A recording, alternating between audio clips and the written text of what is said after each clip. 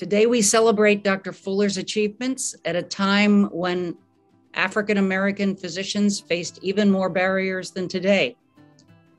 Today, we include presentations about Dr. Fuller's life and contributions to Alzheimer's disease, psychiatry, pathology, and neurology. You'll also hear about current Alzheimer's disease research and progress in recruitment, retention, and promotion of Black students and faculty. I'd like to thank the departments of neurology, psychiatry, pathology, and laboratory medicine, diversity and inclusion, Alumni Association Office, and the BU Alzheimer's Disease Research Center for putting this uh, symposium together for, and for sponsoring today's program. Continuing education credits for physicians and psychologists who are attending today's program and certificates of participation are available. Please see the chat for details about CME credit. You'll also receive an email tomorrow with instructions on how to claim your credit. So please enjoy the day. And I'll now turn things over to Dr. Michelle Durham, Associate Professor and Vice Chair of Education for the Department of Psychiatry. Dr. Durham. Thank you, Dean Antman, for those remarks and for um, welcome everybody to today's um, symposium, really celebrating the life and legacy of Dr. Fuller.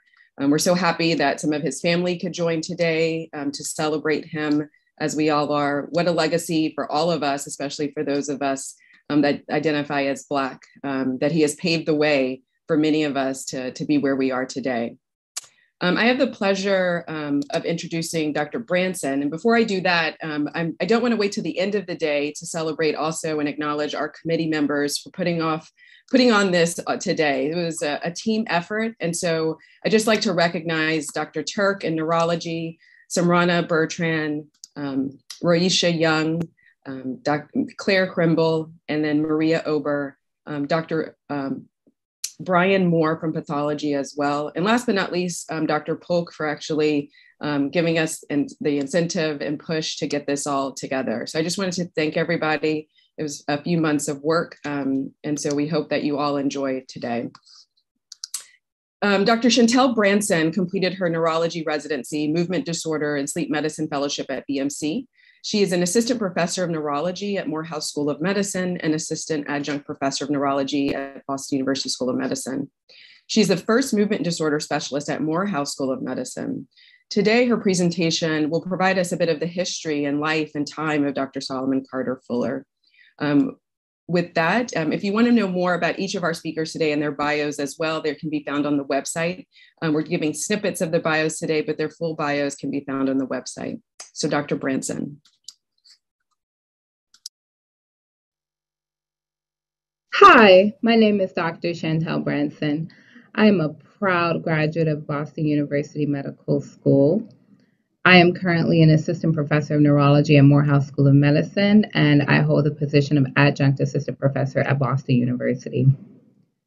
I would like to thank Drs. Michelle Durham, Catherine Turk, and Ms. Samrana Bertrand for the invitation and coordinating this event. I am honored to provide a historical focus about the life of Dr. Solomon Carter Fuller, who was not only a psychiatrist, but also a neurologist and a pathologist with a focus in neuropathology. So let's begin. Today, I will provide an overview of his childhood and teenage years in Liberia I will review Dr. Fuller's early medical career matric- matriculation through Boston University. I will provide several timelines of his accomplishments as a pioneer in Alzheimer's disease research. I will review his career as a neuropsychiatrist at Westboro State Hospital and Boston University. I will provide a brief overview of his wife, Meta Warrick's illustrious career as an artist prior to and after their marriage. I will also discuss Dr. Fuller's decision to leave Boston University due to pay inequities that still exist today. Solomon Carter Fuller was born in Monrovia, Liberia, to freed American slaves who migrated from Virginia. His paternal grandfather bought his and his wife's freedom from slavery and subsequently moved to Liberia. His father, Solomon Carter Fuller, was a coffee planter and sheriff of Montserrado County, Liberia.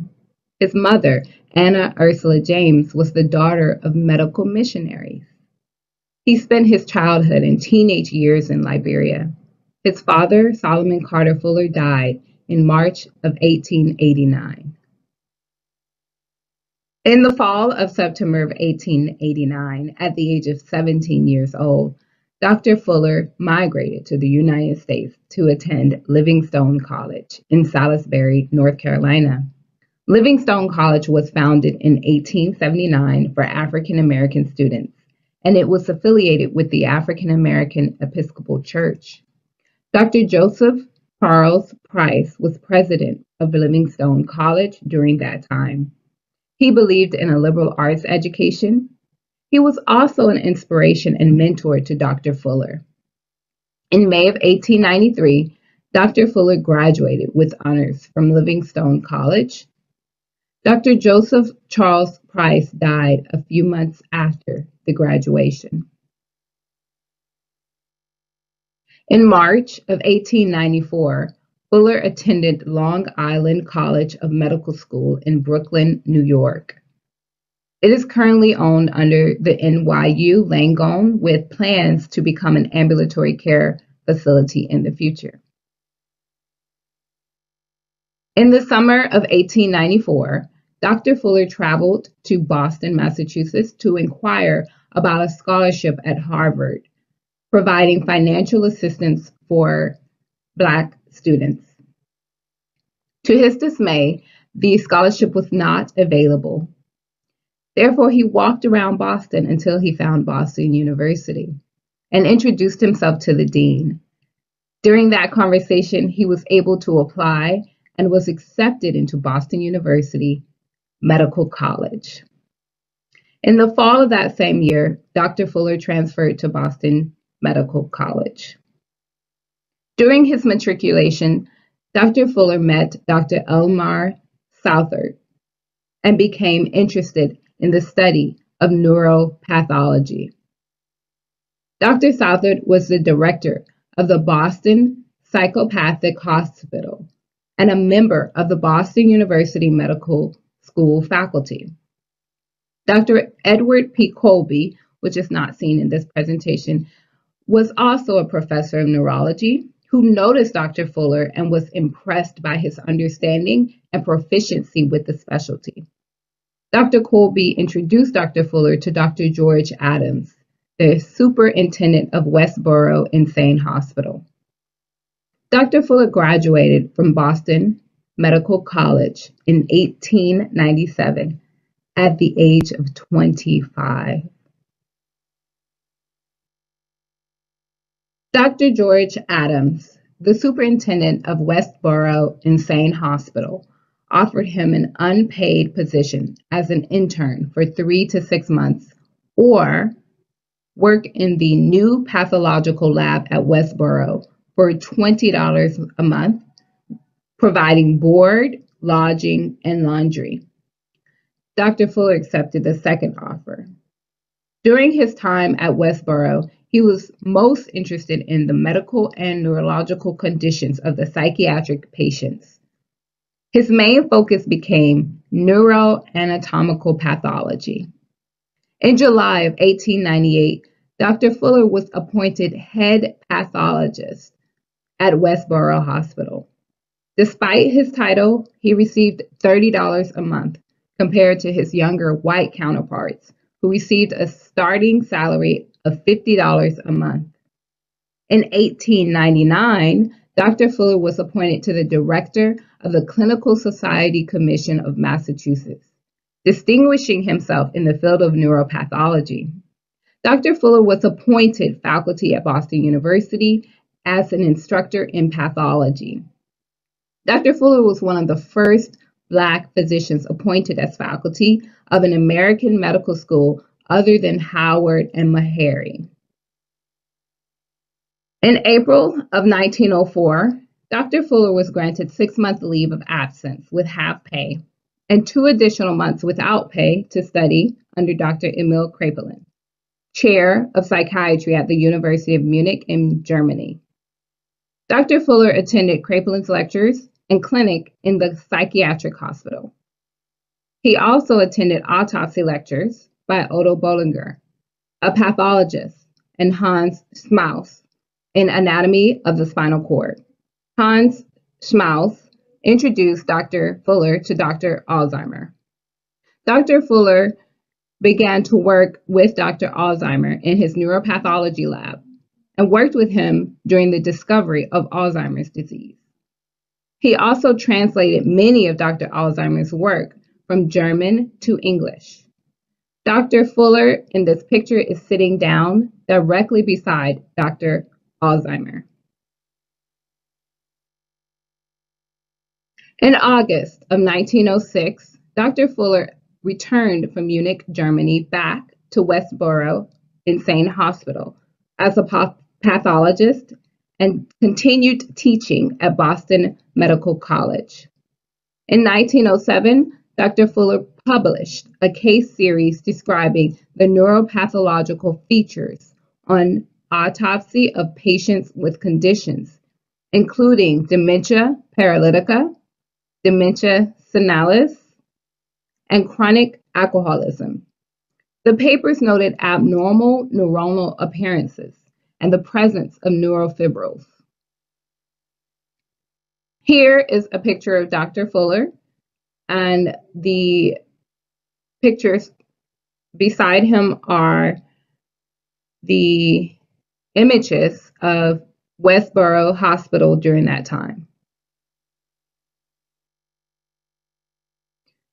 Now I want to take a brief moment to discuss Dr. Fuller's better half. Meta Vaux Warrick. She was born in 1877 in Philadelphia, Pennsylvania. Her mother, Emma Jones Warrick, was a beautician and wig maker, and her father, William H. Warrick, was a barber. Meta attended the girls' high school in Philadelphia, where she became interested in art. She received a scholarship to attend the Pennsylvania Museum and School of Industrial Art, which is now known as Pennsylvania College of Art in 1893. She graduated in 1898 and traveled to Paris a year later. In 1899, she secured housing prior to her arrival to Paris. Upon her arrival, she was not allowed to live in the lodging due to the color of her skin. However, she did not leave Paris, but continued her studies and met several teachers. She also attended the World's Fair in 1900, which included organizers of the American Negro exhibit, such as W.E.B. Du Bois. In 1903, she returned to Philadelphia.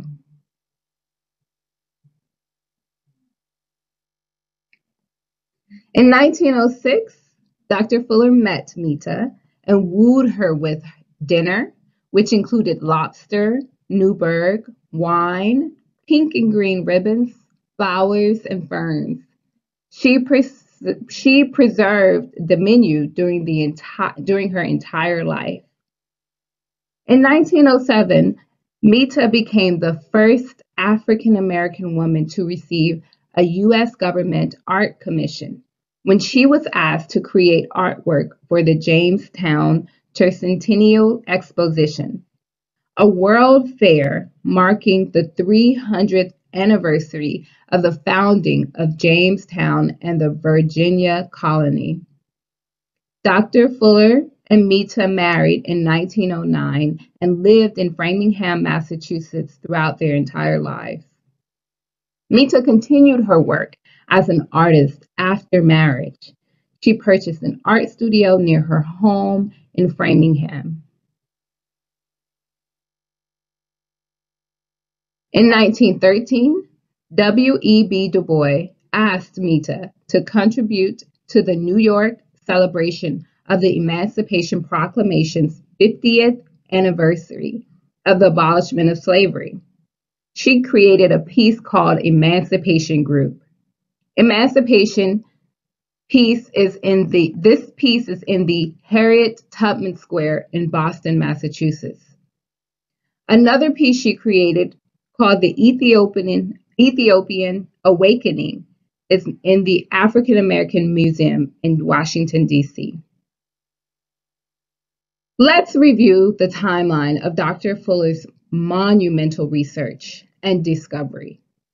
In 1902, Dr. Fuller began working at Bellevue Medical College in New York with Professor Edward Dunham to obtain additional pathological technical skills. Professor Edward spent one year working in Berlin in Robert Koch's lab. In 1903, Dr. Fuller was selected to participate in groundbreaking research with Dr. Alzheimer, as previously discussed. He was only one of five scientists and the only American to be offered this opportunity. He began his work at the Royal Psychiatric Hospital in the University of Munich, which opened in 1904. In 1905, he continued his role as a neuropathologist while intersecting his clinical psychiatry practice to interpret the findings seen on pathology. He started a journal known as the Westboro State Hospital Papers. In 1907, Dr. Fuller published a case series describing the neuropathological features on autopsy of patients diagnosed with conditions including dementia paralytica, dementia senile, and chronic alcoholism. In it, he reported abnormal neuronal appearances and the presence of neurofibrils in cases of dementia senilis and dementia paralytica, while also recognizing the influence of Kraepelin and Alzheimer in furthering his career in Germany and their input in dementia research to date.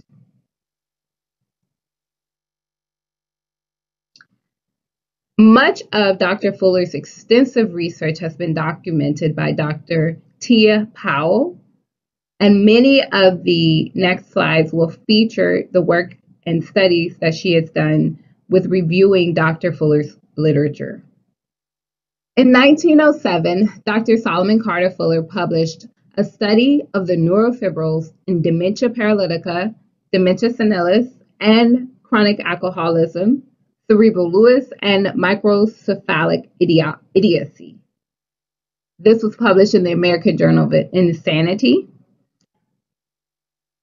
To highlight a portion of the abstract, it says that great caution must be exercised in the interpretation of the alterations which the neurofibrils present in material from pathological sources.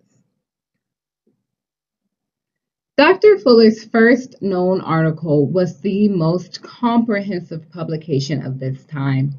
The length of Dr. Fuller's article was 67 pages, including plate of drawings and photographs, which are illustrated here. A few are illustrated here. The paper provides an in-depth detail of neurofibrils. Dr. Fuller discusses the breakdown or degeneration of neurofibrils in the brain based on their pathological findings. He also provides clinical cases of patients with pathological findings that correlate with the disease symptomatology of senile dementia. I just want to read again briefly the abstract and just some of Dr. Fuller's amazing writing at that time it's uh it's not only profound, prolific, but he was a visionary. He was completely ahead of his time. Uh, so now I'm going to read uh, from the abstract and just a few more um, from the introduction. It has been indicated throughout this paper that great caution must be exercised in the interpretation of the alterations which the neurofibrils present in material from pathological sources. A caution which, in the light of our present knowledge, cannot be too strongly emphasized. The writer believes, nevertheless, from a study of these 14 cases and 40 others which have been examined in the laboratory of the Westboro Insane Hospital but not reported, and after due consideration of the objections which have been raised, that alterations in the neurofibrils which might well be considered pathological may be demonstrated in the cerebral cortex of persons dying insane. I am going to begin to speak briefly about the differences between Dr. Alzheimer's and Dr. Fuller's research in dementia. In order to do that, I want to give a historical background about what Dr. Alzheimer's research has done, which I'm sure many of you all know. Um, in November of 1901, Alzheimer was asked to examine the records and brain of Mrs. Auguste Deter. She was otherwise healthy at the beginning of March of that same year. She was reported by her husband to be strolling inappropriately with a female neighbor. Two months later, she began making mistakes in preparing meals, having difficulty with her finances. By November, she was unable to remember her name and became bedbound. She died of complications of dementia in 1906 at the age of 55 years old. Dr. Alzheimer published two papers on the disease, which was named after him by Emil Kraepelin in 1910. Dr. Alzheimer linked the clinical symptoms with the tangled neurofibrils. Dr. Fuller presented several cases. One of them included a woman in her 50s, same age, dying of dementia. Her brain showed no tangled neurofibrils. She had plaques, but not large nor numerous. The thought today is that this patient may have met what we call uh, frontotemporal dementia, may, may have met the criteria for that today. Dr. Fuller also did not want to distinguish the pathological findings in patients with dementia from the old versus the young, is what the terminology was called at that time. That's how they described dementia patients. And he didn't want to classify them in, based on their ages. Dr. Fuller expands on the definition of dementia. He reports there is not enough evidence to separate, as stated before, based on the terminology that was used at this time, at that time, dementia in the young from the old. 16 years after Dr. Fuller's research, Alzheimer's disease was expanded to include dementia in the old and young with senile plaques and tangles. Dr. Fuller also produced a paper on plaques in the brain. This paper analyzed the connections between plaques of dementia and old age. He compared the brains of 33 elderly patients dying insane with 50 young patients dying of mental illness and six elderly patients who died without mental illness. The plaques during that time were initially thought to be caused by arteriosclerosis. Based on his extensive research, he was able to determine that the plaques were not caused by arteriosclerosis, but also neither necessary nor sufficient for dementia. This scientific argument has been discussed for approximately 100 years. There have been companies trying to make medications using this research that these plaques can be related to dementia and if you remove the plaques, then you, you can treat dementia. Dr. Fuller was just ahead of his time. In 1912, Dr. Fuller published in two parts the first comprehensive review of Alzheimer's disease at that time, as well as reviewing 11 known cases and translating Alzheimer's original case in English for the first time. He also described then in the ninth recorded case of the disease. He published several other cases on neurological disorders that were unrelated to Alzheimer's disease. We just have a few here. Two cases of multiple sclerosis with obscure neurological and mental symptoms. Purulent streptococcal cerebrospinal meningitis. A case of multiple papilloma of the brain, a case of Huntington's chorea with late onset.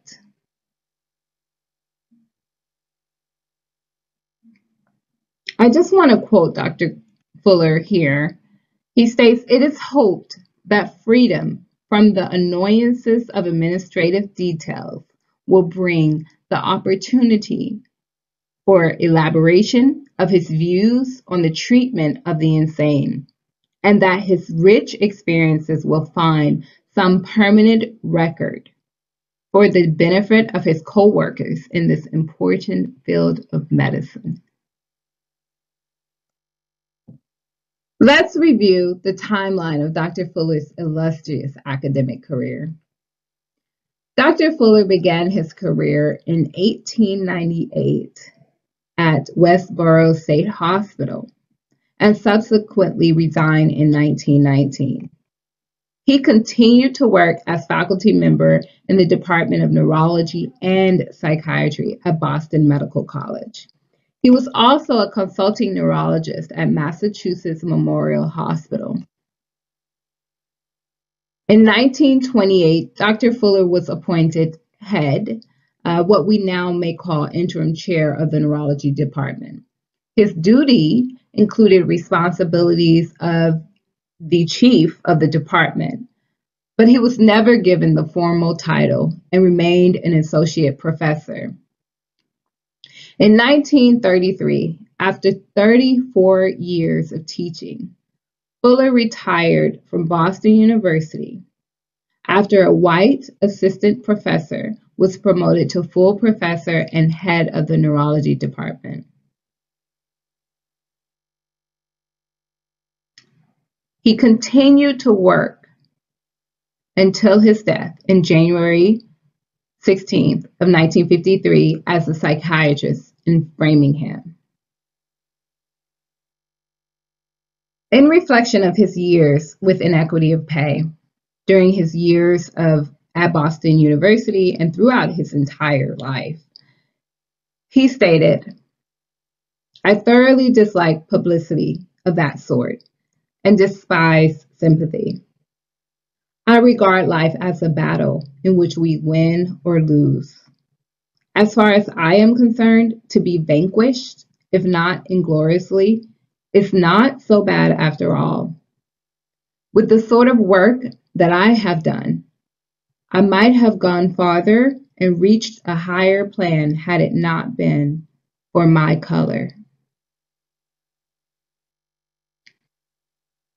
We have a beautiful portrait of Dr. Fuller's family where he practiced as a psychiatrist until 1953.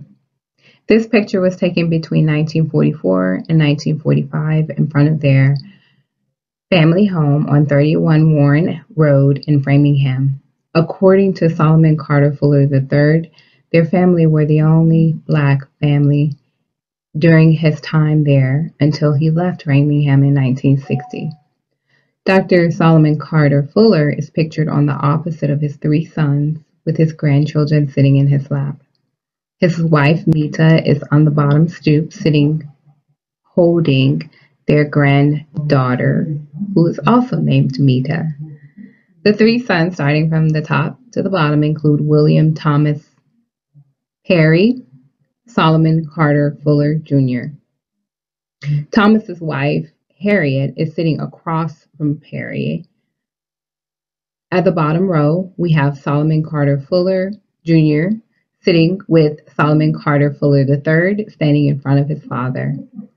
Meta Fuller again is holding is being sitting on the lap of her grandmother, Meta. and Marie Solomon Carter Fuller III's Solomon Carter Fuller Jr.'s wife is holding their newborn, Robert Mita. Robert.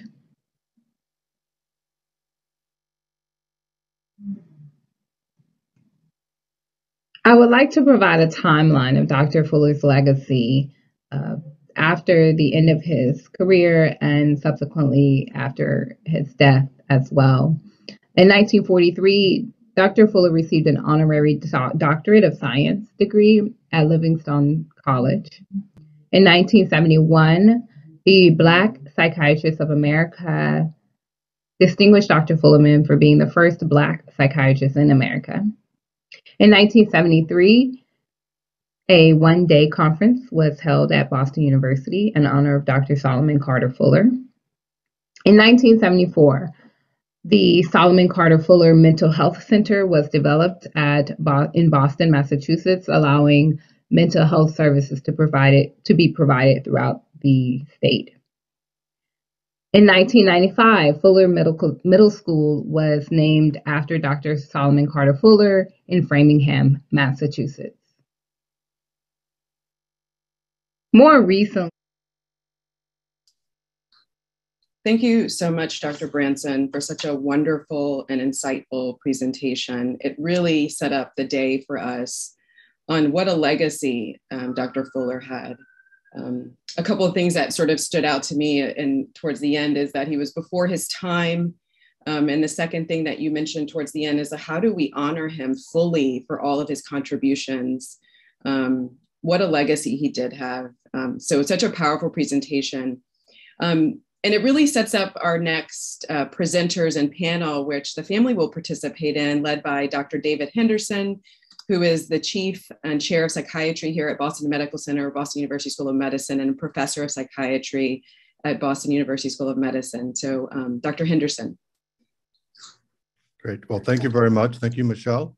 Um, it's an honor to be here in celebration of um, Dr. Solomon Carter Fuller, um, uh, as you heard in the previous presentations, um, an amazing career, but also filled with um, challenges of his time, but also um, these challenges are, are, persistent even in our times, hundreds of years later or more. Um, so, as the uh, chair of psychiatry, um, I uh, want to acknowledge that Dr. Fuller really was a, a trailblazer, and um, he he um, kind of set in action um, processes for psychiatrists to to really bring science uh, to the field, and it, um, it, it really is it's quite amazing. I've um, had the honor of um, uh, first uh, you know working in Liberia where Dr. Fuller uh, was from and and to hear the history, uh, his history from the Liberians who, who all knew him, um, particularly in, in, the in the medical field, uh, was was truly uh, amazing, and and they were so proud of his accomplishments. And in fact, um, you know, prior to the um, you know 20 years of conflict, Liberia probably had the best um, health and, and mental health system in Western West Africa. Um, and so in, inspired by um, the work of Dr. Fuller um, in, in particular. I also want to uh, acknowledge that the in 1971 with the Black Psychiatrists of America um, uh, naming uh, Dr. Fuller the first Black psychiatrist in the United States, um, uh, this is a, was an, a, an important acknowledgement that he was not only a neurologist, but he was a psychiatrist and a pathologist. Um, so he was really a, a, a, triple threat and, and extremely unusual. Um, as it turns out, uh, the Black Psychiatrists of uh, America was uh, founded by uh, uh, one of my mentors um, named Chester Pierce. And, and in mentoring me, he often talked about um, um Dr. Fuller and, and the, the process that he went to, through, but also um, the the importance of of science and and and pursuing science. And he said to me that you know you really have to be a historian to be a good scientist. You really have to understand who went before you, who who examined um, areas and problems and and what were their findings and then maybe you have new tools now to take it to the to next level um, so so dr fuller has had an impact on um, numerous I, I believe psychiatrists neurologists and pathologists uh, both um, black and non-black um, and so um, and I'd like to introduce first Dr. Andrew Budson, who is Chief of Cognitive and Behavioral Neurology and Associate Chief, Chief of Staff for Education at VA Boston Healthcare System.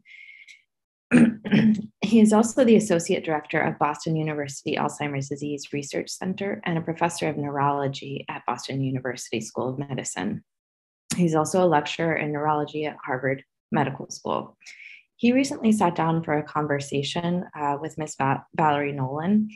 And Miss Nolan is a dedicated member of Boston University Alzheimer's Disease Research Center. She's uh, been associated with the center for many, many years as a senior facilitator for the Community Action Council and Diversity, Equity, and Inclusion Partnership within the Department of Neurology.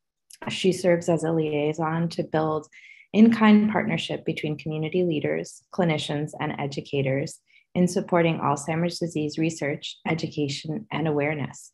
She is a champion um, in the advocacy and outreach to legislatures, legislators, and serves as a minister to connect with spiritual leaders and, um, and serving families and communities of color. And now I'll turn to Dr. Budson and Ms. Nolan.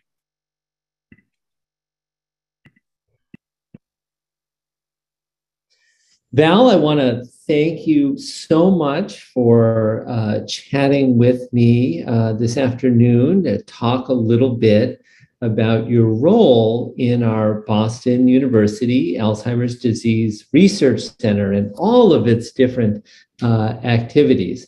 And you have been part of the center longer than I have. And yeah. I have been part of the center since like uh, 2005. So, so I don't even want to count all the years, but that's a lot of years. So I know. How, how did you first become involved in our center? Well, first of all, Dr. Budson, thank you so much for giving me the opportunity to speak about where we are on this journey. My pleasure. Well, thank you. Initially, as a business professional,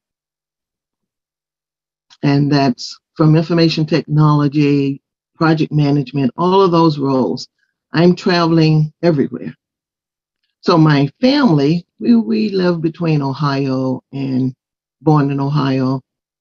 And then my parents were in Alabama.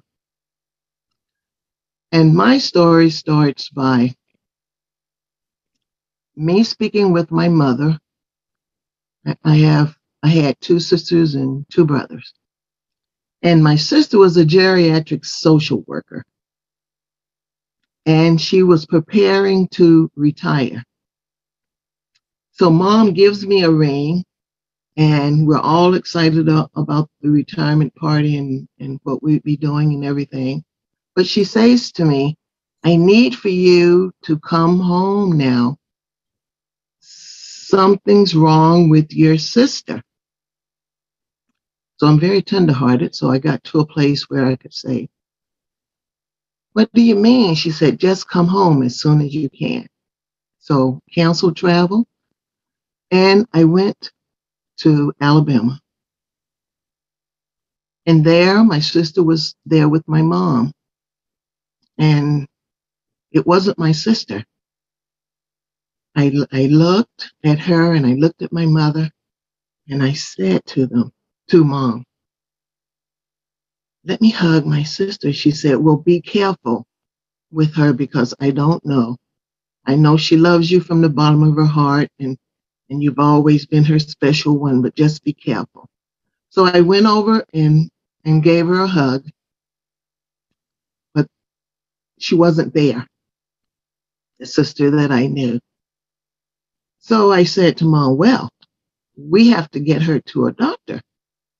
So we made an appointment that was urgent for me. I told them I was traveling and I need to get her here. and they examined my sister. The doctors were husband and wife. And after the examination, they came back and they said to me, We're sorry we missed it. So I don't know what they're talking about. I said, My sister is not here. She's gone. And we're sorry. I was sad. I was angry. I was upset, not knowing what to do. Sure. So yeah. I, I got the, uh, took the next plane uh, back to Boston, uh, canceled any business trips I had for the time, and I said to, who did I meet first? I was over in the Bedford office with uh, Dr. Kowall's group, Yeah. and I started Our, our director of our center. Yeah. director of the center, and I started to ask questions.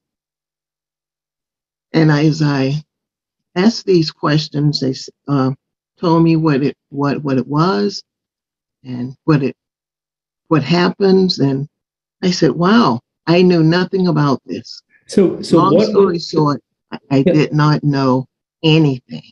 yeah. about- So, so what was the diagnosis that your sister was given?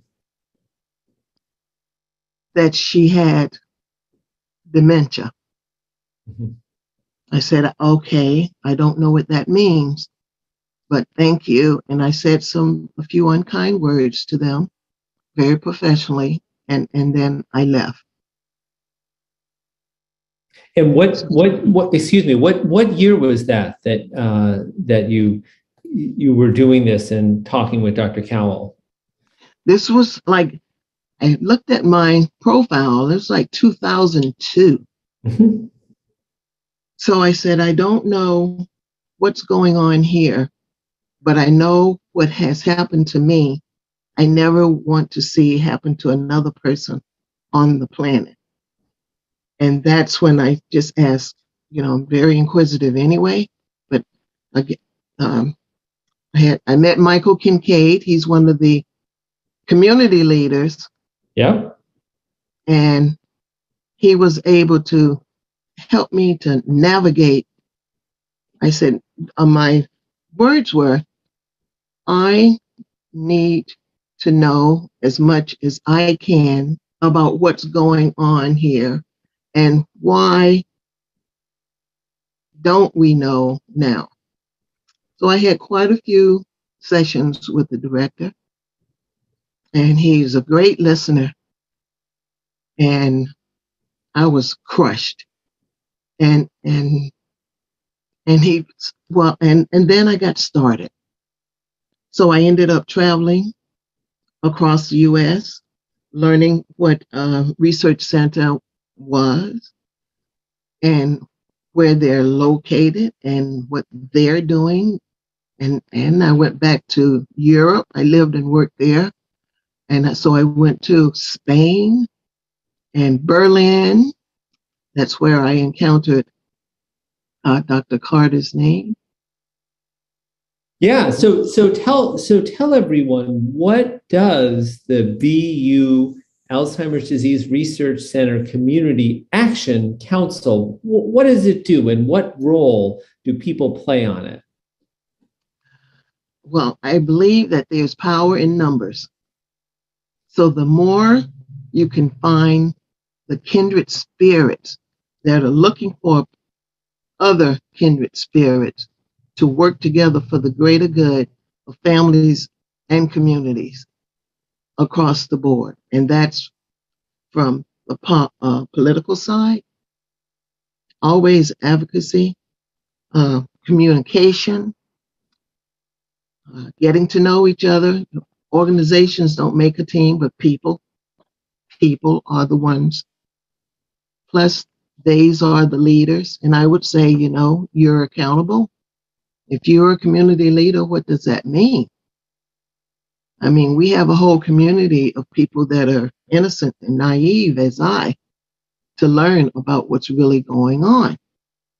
And you have this language here. Oh, we say underrepresented. This is an underrepresented community, not that the attempts haven't been there, but they haven't been able to influence people and rally to get things done. So we take it a step by step. And that's a mission that I will be on until I'm gone and then some.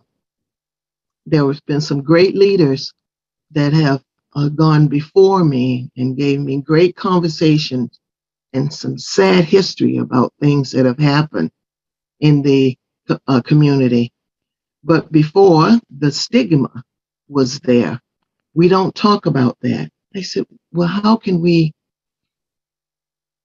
And then I stopped and paused and I said, well, if not you, then how about your children and your grandchildren? I would like for it to be just as cancer. Everyone knows about what do you call it? Alzheimer's, dementia. Everyone knows that it's important that we understand what's going on when a family mem- member is going through many things. Your books have been absolutely wonderful. The, the feedback that comes because as a community, well, leader in, in this town, it took me many years to get to this point. It wasn't very nice at first. I said, well, I'm very diverse. I persevere. And after a while, you'll get to like me. And I'd like to thank you very much for the dementia friendly. We understand that we have over a thousand people, families in this town that have family members. So I took that to the CAC and I said to the, the meeting, wow, look at all of this work that we have to get done. So I've talked to our legislators, uh, congressmen and senators, and they are also touched. I've been on Capitol Hill helping all of them to understand, and they basically all have the same story. Yes, we have a family member like that too. I said, okay, so how can we raise raise, raise funding to rally together for the greater good. And how about research? Oh, don't talk to us about that. I said, all right. So this is what I'll do. I'll talk to you every time I see you about this. And then after a while, I won't have to say anything because I anticipate and hope that you'll be joining me on this journey and it's starting to happen. Wonderful. Wonderful. In in the research space, and I, I said, I understand that you're apprehensive. I said, but I also understand how important it is for confront our fears, recognize them, find someone to talk to about it. You can talk to me. And then we can go forward because I had to do the same thing myself and I didn't have anyone, no one in the family. It's a family thing as well. And they really would like to see your face and see what you have to say. And and I, that's what I told the leaders. You know, you're the ones that are in these positions, given these the scope of these red line neighborhoods that you're supposed to be studying, and they want to see you on team. Yeah, and especially where we are today with the isolation, uh, with the uncertainty, with the unprecedented times, with our young people. That's another thing that I've learned. You don't have to be an elder to mm-hmm. start having memory problems. So Val, you know, we're you're uh, talking about uh, you know doing some of the research, and you've been participating in uh, studies at our center you know, I think probably since around, you know, two, 2002, if not, you know, maybe a year or two later. And, you know, what, why do you do it? What do you find, you know, fulfilling or rewarding or satisfying about participating in the studies? Well, I'm very inquisitive, and I said, "Where is the data?" You know, that's my business side. They say, "We don't have data like that, Val." I said, "Oh, Oh, I know. And I can go to some sessions and there the room is full and I look around for people that I know that should be in that room uh, listening and, and, and, learn, and learning. We have to be continuously listening and learning and, and meeting the needs. And it's been, this is 2022. It's been 20 years. And I'm so thankful and grateful. I see more progress today since you came on board and the bright light and the fire and energy that's around research is an answer to a prayer because I knew it had to go. I'm a technology geek as well. I can't help. And so in now in regards to research, hope has to be alive. We have to be hopeful one day at a time. We have to keep a positive attitude. Now, how did I get into uh, research? I said, the first, it was paper. Oh boy, I thought, oh my goodness, how long is this going to take? With our wonderful manager there, Eric. Thank So you. you're talking- you're talking about the pencil and paper testing that you were doing as part of the studies? paper. Yes. I only had to do that twice, pencil and paper testing. I said, okay, so I'm a technology geek. Can be automating this. So sure enough, now I am on my smartphone. I know a lot of people play games and, and DraftKings and all of those things. I said, no, I don't play games. I'm I just don't play games. But if there's a, a study that I can on my smartphone, yes. And in fact, I'll be completing one in about hmm, six weeks, two months. So, so But you're I don't ever, I'm sorry, you're saying one of the studies you're doing with our center, you're actually doing it on your smartphone. absolutely, Wow. That's yes. cool. Yes. So That, that's, that's really wonderful. You know, I'm, I'm really glad you spoke about that because I think when people hear about Alzheimer's research, they think it's all about like taking a new drug or a new medicine. And they also think usually that you have to have Alzheimer's to participate in research. But what you've just explained is that although we do have some research like that, there's a lot of research going on that uh, healthy older individuals can participate in. And a lot of it has no medicines at all. Some of it, you do an MRI scan or a PET scan or an EEG electrodes uh, stuck to your head. Some of it, like you were just talking about, can be a smartphone or a, a questionnaire. So there's a lot of different types of research that people can participate at our center, or if you're watching this remotely at one of the other uh, national institutes on aging Alzheimer's disease centers across the country. Mhm. So I encourage everyone to realize that it's that we have to own this. We have to own because the days of sitting with Dr. Welby and and then and Dr. Cosby are done. There's no time. There's so many of us, but if we rally together, we can get things done. But it's very important that we keep a positive attitude. Yeah, no, that that's that's wonderful. So, you know, you've talked a little bit about this this issue, uh, uh, but I wanted just have you sort of address it explicitly. You know, why is it important for people who identify as Black or other underrepresented groups in this country? Why is it important that they participate in Alzheimer's disease research? Well, there's one simple answer. We don't have information. We don't have data. We don't have anything to work with. And that's where the need is. It's, you're not a, a puppet on a string. You're learning as well as participating in the future that can help your own family and, ha- and have a conversation. Or, uh, praise God now, it's on television. It took forever for us to get to that point. But, you know, you might give out, but you never give up. Absolutely. That's such an important message.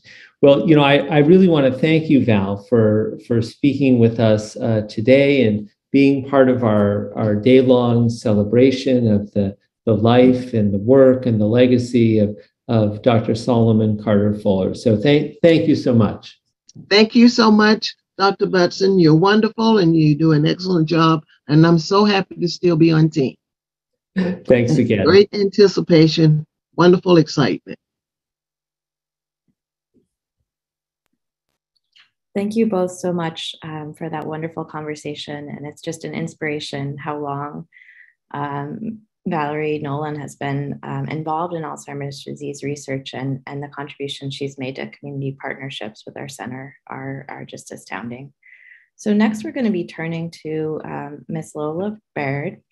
Ms. Baird is a licensed independent clinical social worker in the state of Massachusetts and she has experience providing mental health care and social work. Uh, she's a current trainee at our university's Alzheimer's Disease and Research Center in our Research Education Component or REC Scholar program. Her goal is to use research to better understand the effects of structural disadvantages, including neighborhood violence, on health outcomes, with the goal of creating innovations and interventions that might mitigate the impact of these structural disadvantages. And next we'll turn to Ms. Baird. My name is Lola Baird, and I am a clinical social worker with the Boston VA healthcare system, where I have worked since 2012. My social work practice has allowed me to directly witness how our social environments can inhibit or support our desires to succeed in life. In the last few years, I have worked on translating my clinical experiences into research.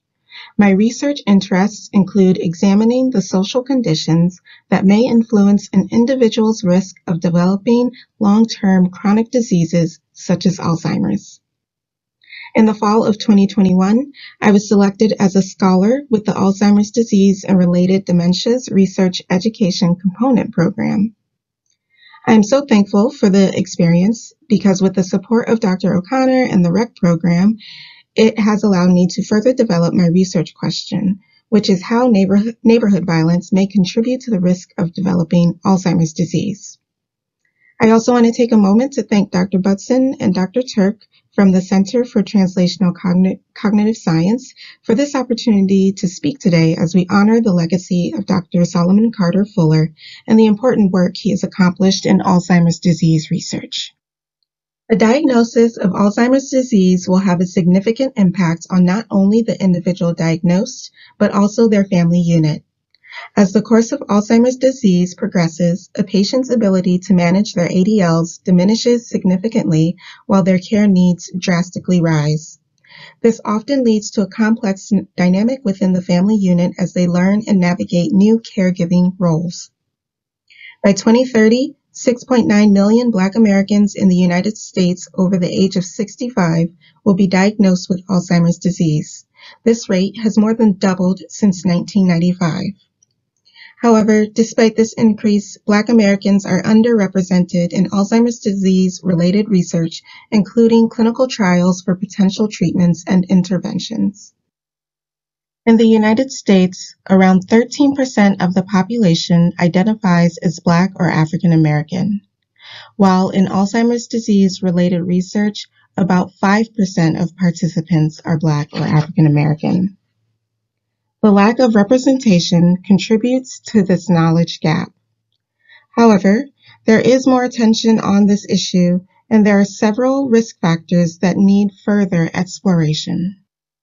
There are several potential modifiable risk factors for Alzheimer's disease.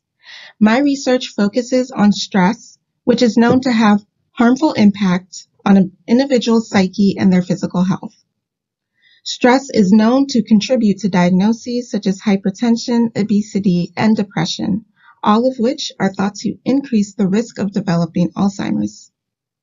I also want to highlight the term prolonged stress, which will bring us to the next point. Health outcomes related to prolonged stress and relatedly prolonged traumatic stress is at the core of the research question I am examining. A central feature of the work extrapolates that Black Americans are subject to unique stressors, specifically racism, that can influence all aspects of living. This is not to say that only Black Americans are impacted by racism, but the slavery practices of colonists in early American history created a distinctive subtext for Blacks in this country.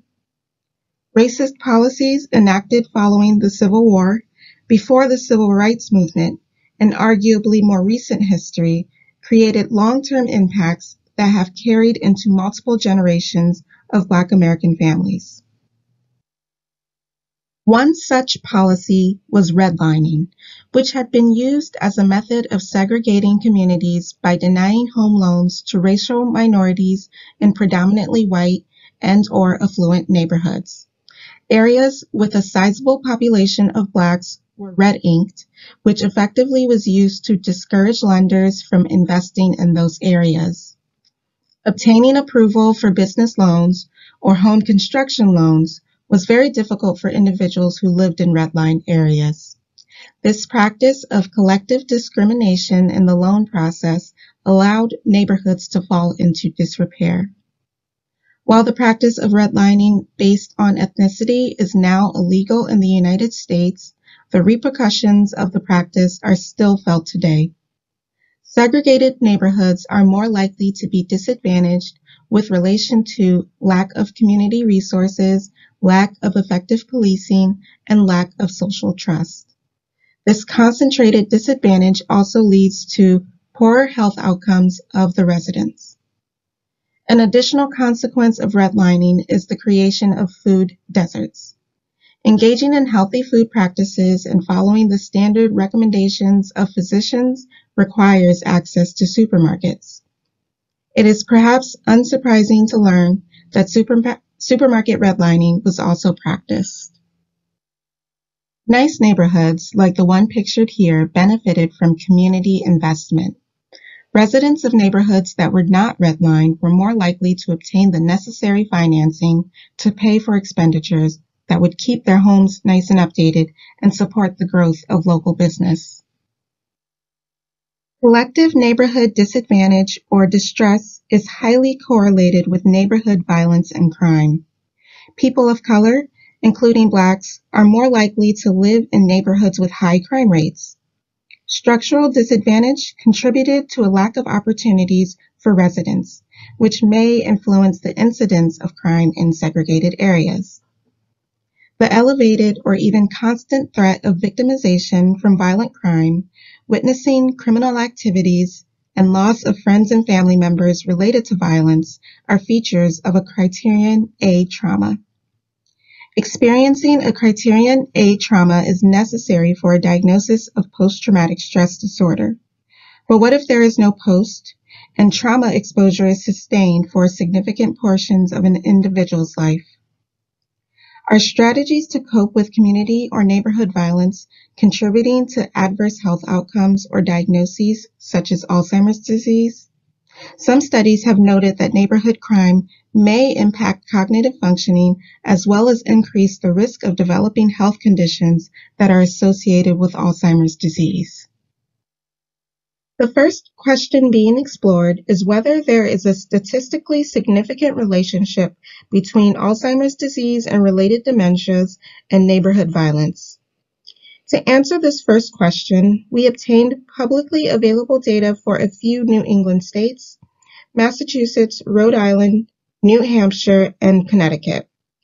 The data is from the Healthy, Healthy Aging Report, which is funded by the Tufts Health Plan Foundation. The report provides comprehensive community profiles for 797 towns in the region. The data includes variables of particular interest to this research study, which was the rate of Alzheimer's disease in communities and a few different crime related variables, including homicide rates, property violence, and violent crime.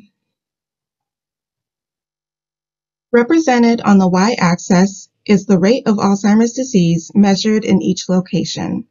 On the x-axis is the rate of violent crime per 100,000 residents. As can be seen here, these variables are significantly and positively related such that as rates of violent crime increase, so do the rates of Alzheimer's disease. I present this preliminary data with the disclaimer that correlation does not equal causation. But you can see here that there does appear to be a significant correlation between the rate of violent crime and incidence of Alzheimer's disease in a community. A simple linear regression model also showed that violent crime in a community does explain a statistically significant proportion of variance in Alzheimer's disease rates. While there is a relationship, further research and data analysis is needed to understand what is, what is behind this connection and how that relationship is impacted by other known and accepted risk factors of Alzheimer's disease. Understanding the impact of sustained or continuous exposure to trauma on later life health outcomes is important as our population ages. Highlighting inequities in the social environment allows for a more nuanced view of the person in their environment. It is not enough to know there is an inequity. Moving forward requires acknowledging the uncomfortable truths so innovation and innovative approaches to Alzheimer's disease is equitably distributed. I want to thank you for the time today as we honor the life and legacy of Dr. Solomon Carter Fuller. Thank you so much for that uh, excellent talk, Lola. Um, it's clear that you've um, made so much progress in the short time that you've been a Rex Scholar um, in answering these important questions about how um, the environment and the circumstances we live in may affect Alzheimer's disease risk. Um, next, I'd like to turn to another member of our Alzheimer's disease research community. Ms. Royisha Young is the recruitment coordinator at our center. She is also a member of the Outreach Recruitment and Engagement Core team um, that works to facilitate the recruitment and retention of research participants. She's actively working in the community. She seeks ways to educate families about Alzheimer's disease clinical research. And she endeavors to build relationships with potential research participants, especially those from underserved communities. Ms. Young? Good afternoon, everyone. My name is Royisha Young. I am the recruitment coordinator here at Boston University Alzheimer's Disease Research Center, and I will be sharing a little bit about who we are and what we do here at our center. A little bit of background we were established in 1996, and we are one of 37 Alzheimer's disease centers funded by the National Institute on Aging. Our faculty and researchers are affiliated with Boston University School of Medicine and or the VA healthcare system. Also, our staff are professionally trained in medicine, public health, and other related fields. Our mission here is to reduce the human and economic costs of Alzheimer's disease through the advancement of knowledge. Our three objectives are research, care, and education. To carry out this mission, one of our initiatives is the Community Action Council. This council works with community members to conduct quality, inclusive research by ensuring adequate representation of African American participants in both the HOPE Registry and other studies. Also, we partner with the Alzheimer's Disease Association to participate in the annual Walk to End Alzheimer's Disease. And this year's Walk to End Alzheimer's Disease in Cambridge will be held on October 16th. So please save the date. Also, we have a student ambassador program in which we welcome college students from across the Boston area to be further educated on what is Alzheimer's disease so that they would be empowered to then go out into the community and raise awareness about Alzheimer's disease through various outreach events.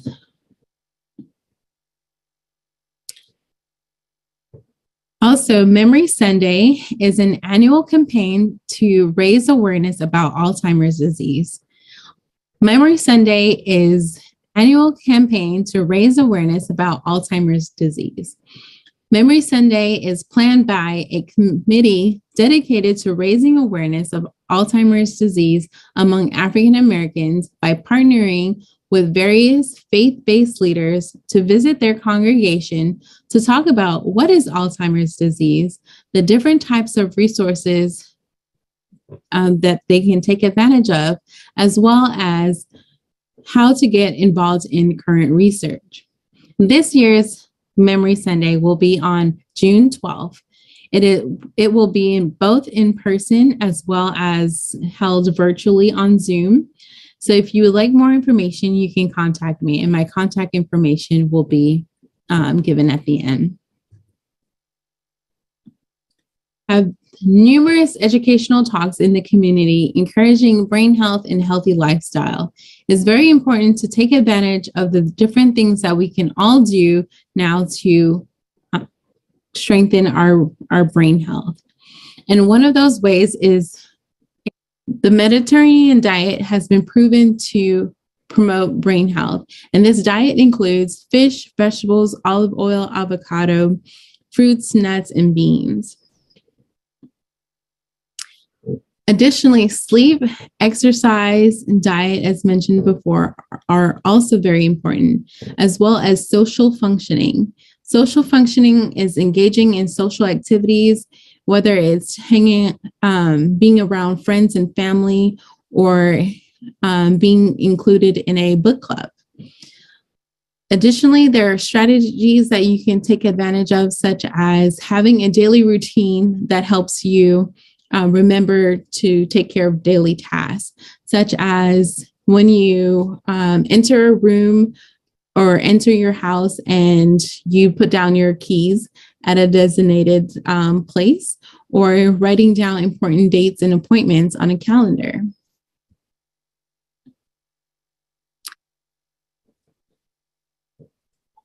Furthermore, we have a number of different research studies that we are recruiting recruiting for in um, various different uh, categories, such as memory and aging studies.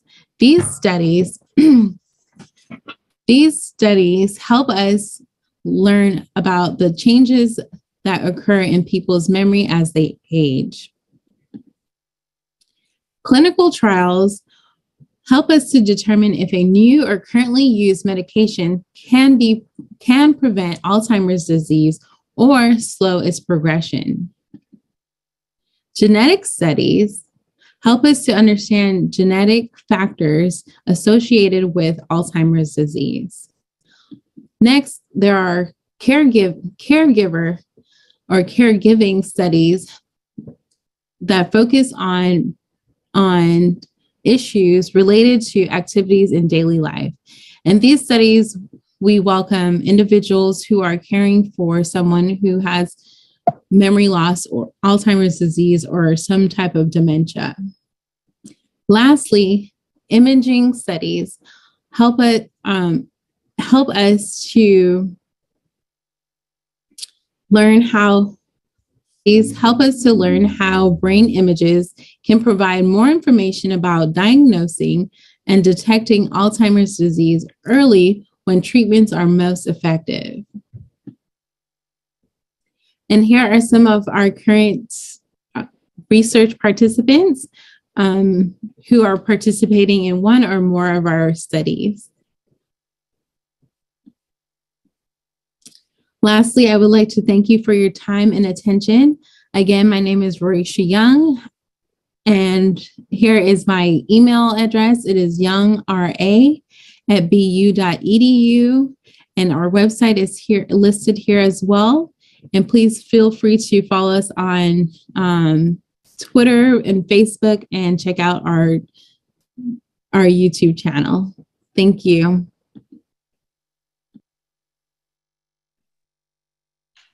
Thanks so much, Royisha, for sharing a little bit about our center. And I encourage anyone watching who'd like to get involved to reach out to Royisha. Um,